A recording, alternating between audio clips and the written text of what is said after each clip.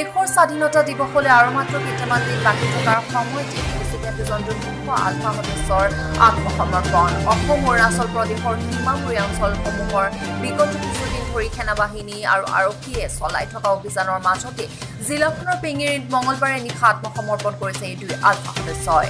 তিনিচুকীয়া জিলা আৰক্ষী দুশ দহ বেটেলিয়ন কোব্ৰা আঠষষ্ঠি B N C R P F একৈছ পাৰা এছ এফ আৰু সেনাৰ তিনি নং গাৰোৱাল ৰেজিমেণ্টে অঞ্চলটোৰ টেকিৰি গাঁৱত চলোৱা এক যুটীয় অভিযানত আত্মসমৰ্পণ কৰিবলৈ বাধ্য হয় এই দুই আলফা স্বাধীনৰ সদস্যই।